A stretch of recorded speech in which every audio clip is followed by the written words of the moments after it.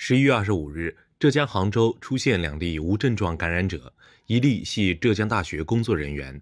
随即，浙江大学紫金港校区封闭，迅速连夜开展全员核酸检测。晚上，记者来到校园门口，只见校门紧闭，外来人员一律不许入内。学生进入需要出示相关证件，亮码通行。时不时有车辆前来运送物资。采访中，不少相关人员家属告诉记者。目前，浙大进行了封闭，相关人员都要进行封闭式管理。他们都给自己的亲人带来了食物、水、御寒物等一些生活必需品。他就是通知，叫说那个浙大博物馆那边有一个阳性，嗯，就是无症状的阳性，对，然后学校，然后就立刻出了通知，让他们进学校进行封闭式管理。嗯，学校进去，就是学生进去以后就不不不可以出来。哦，他们现在进去要做核酸。大包小包给他带点啥？买了点吃的。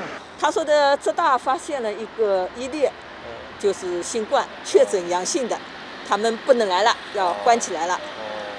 关多少时间不知道。那你女儿现在就是在干嘛呢？核酸刚刚做好了。已经做好了。哎，做好了，做好了出来来拿东西的。我给她送的是必须的药品，然后他没地方住啊。对对对。所以就给她拿了一个毛毯、一个枕头，这样子在。实验室靠一下。浙大工作人员家属贤女士告诉记者，她其实没有过多的担心，她和女儿对于浙大的应对措施还是很相信的。吃的基本上没什么带，嗯，因为原则上学校里应该会供应的，有食堂嘛，对对对，是不是啊？这个我相信浙大这点东西不用担心的，不用问的，我反正很相信他们的。嗯，我觉得。这些人应该说是学生也好，工作人员也好，他们有很多老师也一样的呀，也被关起来了呀。我刚才看他们那个丈夫在送东西，也大家都很平淡的，没什么东西。反正就是配合嘛，配合学校的工作嘛。